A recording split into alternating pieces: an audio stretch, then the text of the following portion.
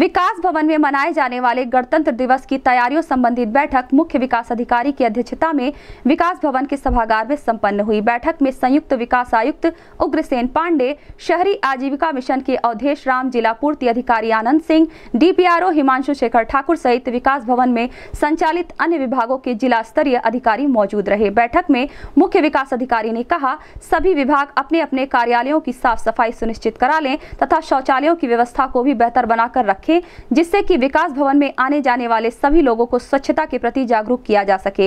इस संबंध में गोरखपुर न्यूज़ से बात करते हुए मुख्य विकास अधिकारी इंद्रजीत सिंह ने कहा। व्यवस्थित हो जानी चाहिए आपका स्टोर रूम आपकी फाइलें आपकी मिट्टी सब उतर जानी चाहिए जहाँ से जहाँ जहाँ शीशे टूटे उसको हम रिपेयर करा चाहिए सर।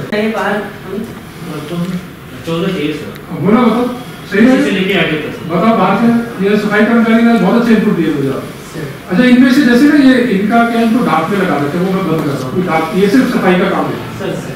और इनकी ड्यूटी प्रॉपर करेगा और टॉयलेट्स के लिए रोस्टर बना देंगे। ताकि टॉयलेट हमारे रेगुलर चाहते रहते हैं और जो टॉयलेट साफ़ करते थे उनको बुला लिया। ये ये प्रैक्टिकल बात मैं फ्लो में बोलता हूँ फ्लो में रहता हूँ। ठीक है एक कम से कौन गया था? कभी सम्मेलन देखने इंटरनेशनल स्टैंडर्ड का कभी सम्मेलन हुआ? गोरखपुर में भैया करवा रहे हैं आप कल्चरली कितना डेवलप कर रहे हैं। तो रिस्पेक्ट है।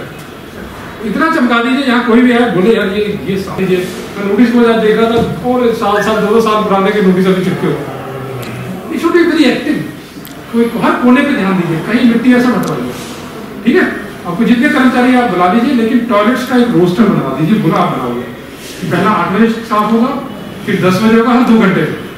ठीक है? सारे टॉयलेट्स और बंदे जितने चाहिए वो ले लीजिए जो टॉयलेट के अंदर घुसे। और रिपेयर कराने का हमें जैसे पूरे जो हमारा विकास भवन है, इसकी जो सफ़ाई व्यवस्था है, उसको रिव्यू किया गया था और ये रूटीन बैठक है हमारी, हम मंथली करते हैं। और उसमें हमने जो एक व्यवस्था बनाई है, जिसमें हमने सफ़ाई कर्मचारियों को रेगुलर टॉयलेट क्लीन करने के लिए रोस्टर्स और टॉयलेट जो टूट गए हैं, उसकी रिपेयर की व्यवस्था की है। और सारे जो विभाग हैं, वो अपने रूम्स की, जो अंदर की व्यवस्था है, उसके लिए भी हमने दिशा निर्देश जारी किया है।